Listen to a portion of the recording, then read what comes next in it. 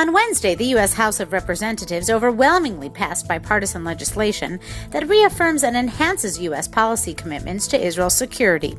The United States Israel Enhanced Security Cooperation Act of 2012, which was sponsored by House Majority Leader Representative Eric Cantor and House Minority Representative Steny Hoyer, passed by a vote of 411 to 2. In addition to expanding military cooperation between the two countries, the legislation states that it will be U.S. policy policy to provide Israel with essential military capabilities to preserve its qualitative military edge in the region. Some provisions appear aimed at assisting Israel, particularly in any possible confrontation with Iran. The legislation recommends that the U.S. provide Israel with air refueling tankers, missile defense capabilities, and specialized munitions. The American Israel Public Affairs Committee, which lobbied for this legislation during its annual policy conference in March, released a statement applauding the bipartisan support for the legislation.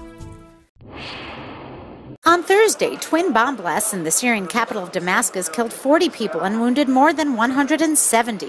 One of the explosions hit a district that houses a well known military intelligence complex involved in Syrian President Assad's crackdown on a 14 month uprising. Thursday's explosion came a day after a bomb exploded near UN monitors observing implementation of a UN ceasefire plan, and less than two weeks after Syrian authorities said a suicide bomber killed at least nine people in Damascus. The Hamas government in Gaza is now using its authority to foil the firing efforts of cells from other organizations such as the Islamic Jihad and the Popular Resistance Committees.